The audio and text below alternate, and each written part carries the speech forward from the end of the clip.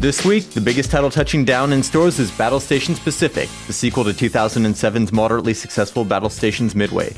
Like its predecessor, the game will let players control a variety of US aircraft and naval vessels as they try to beat back the Imperial Japanese fleet and its ground support forces during World War II.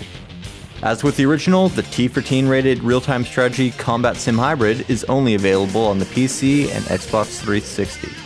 For console owners more partial to Magic, German publisher CDV is releasing the console port of the decently reviewed Sacred 2. Subtitled Sacred 2 Fallen Angel, the Diablo style action role playing game will be set 2,000 years before the original, and it will feature a 30 hour single or co op campaign for each of the six playable character classes. Other notable new releases include SouthPeak Interactive's Pirates vs. Ninjas Dodgeball, which aims to settle the age old battle between Buccaneers and Shinobi on the Wii, Atlus's elaborately titled Shin Megami Tensei Devil Summoner 2 Raidou Kuzunoha vs. King Abaddon will serve up some old school JRPG action on the PlayStation 2, and Hudson gives you the chance to save the world from impending extinction by shopping for defensive items in Help Wanted.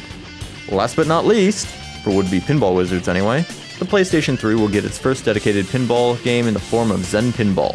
Available on the PlayStation Network Thursday, it features local online and worldwide tournament multiplayer. For further details on the week's games, visit GameSpot's new releases page. Release dates are based on retailer listings and are subject to change.